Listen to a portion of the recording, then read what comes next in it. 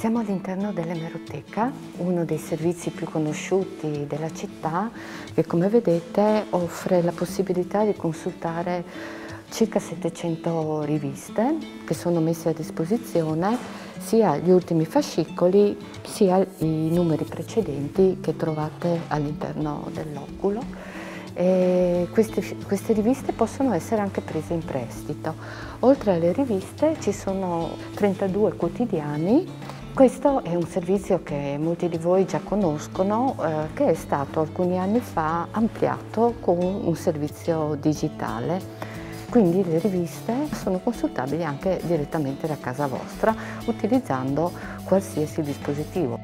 Bisogna iscriversi a una piattaforma che si chiama MLOL. Per chi è iscritto alla biblioteca basta richiedere anche con la posta elettronica l'iscrizione a questo servizio oppure se non si è ancora iscritti si può fare anche direttamente l'iscrizione online andando sul sito BiblioEst che è il portale delle biblioteche cittadine una volta registrati si ottiene eh, lo username per, um, per accedere alle biblioteche. Con questo username si fa la richiesta con la posta elettronica a emeroteca chiocciolina.comune.trieste.it. Partendo da Esplora Catalogo c'è un menu, cliccando tipologie avremo audiolibri, eh, ebook e l'edicola. Qui troviamo ben 7000 periodici tra quotidiani e riviste suddivise in 40, 40 lingue.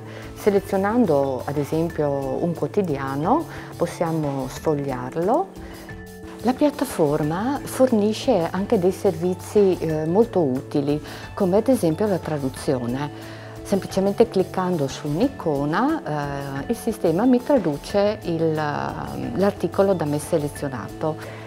Un'altra un funzione è quella della lettura ad alta voce, quindi posso sempre selezionare l'articolo e chiedere al sistema che mi legga l'articolo.